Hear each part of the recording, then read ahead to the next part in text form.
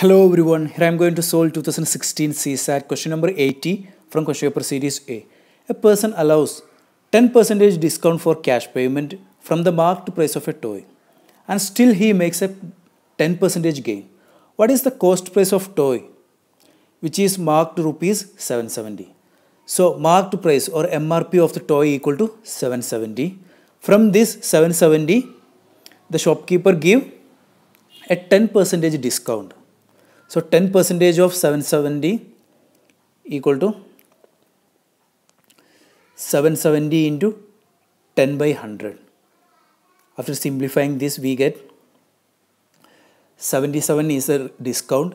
Then selling price equal to marked price minus uh, discount. We get the selling price 770 minus 77 which is equal to 693 this selling price we can find from the cost price also. Let us consider the cost price equal to x. Then he sold this toy uh, with for a, with a 10 percentage gain. 10 percentage 10 percentage of x equal to that we can write as x plus 10 by 100 into x. This is the selling price of the toy. Cost price is x and he made a 10 percentage gain. Then selling price equal to x plus gain equal to selling price which is equal to the 690 equal to 693. Then after simplifying this we can find cost price from this. Cost price of the toy. x plus 10 by 100 0 0 gone. 1 by 10 equal to 0 0.1 0.1 x. Equal to 693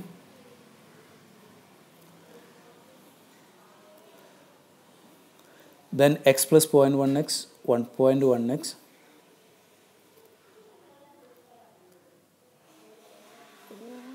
One point one x equal to six ninety three x equal to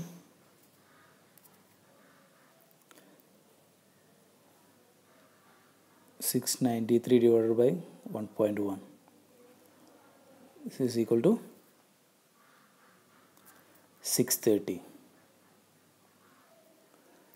Our answer is option C 630.